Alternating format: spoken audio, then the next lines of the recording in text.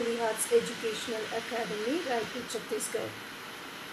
In this video, we are going to see the class 10th science physics part, chapter number 12 that is electricity. Now what is this electricity?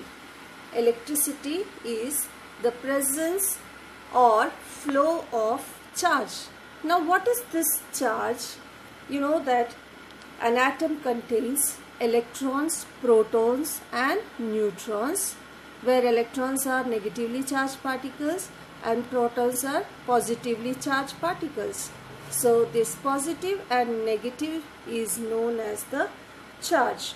And you know that like charges repel each other and unlike charges attract each other.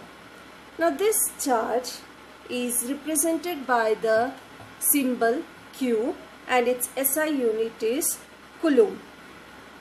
Now the charge on one electron is equal to minus 1.6 into 10 to the power minus 19 coulomb and number of electrons in 1 coulomb of charge is equal to 6.25 into 10 to the power 18.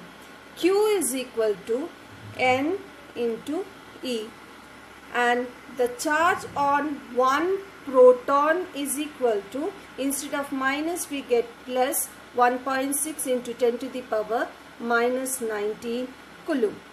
Now I said that electricity is the presence or the flow of charge. Now if you have the presence of charge we call it as a static electricity.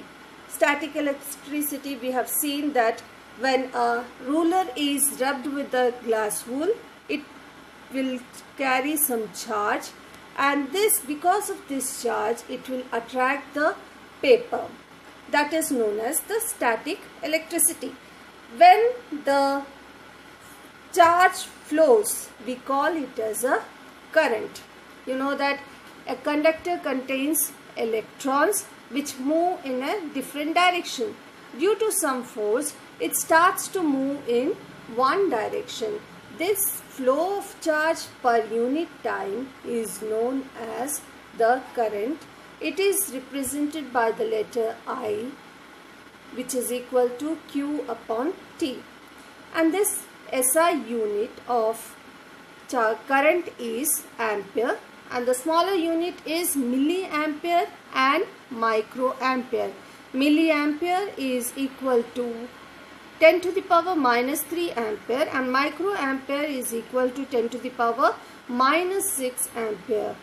And this current is measured by an instrument known as ammeter.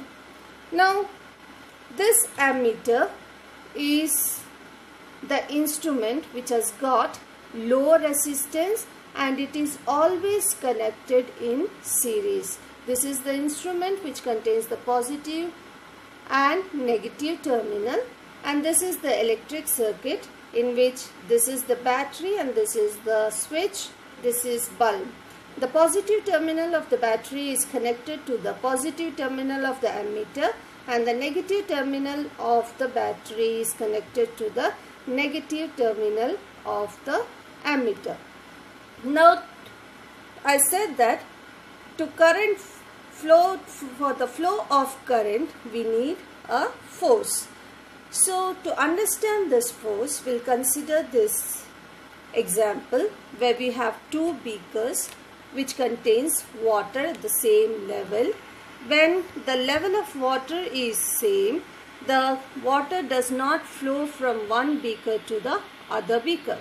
When the level of water in the beaker B is reduced, the water from the beaker A will flow to the beaker B. The same concept is applied in the electricity where we maintain the difference in the potentials. Now what is this potential difference?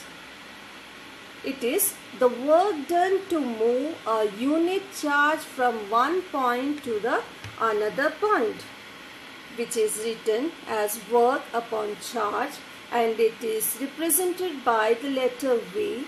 Its unit is volt.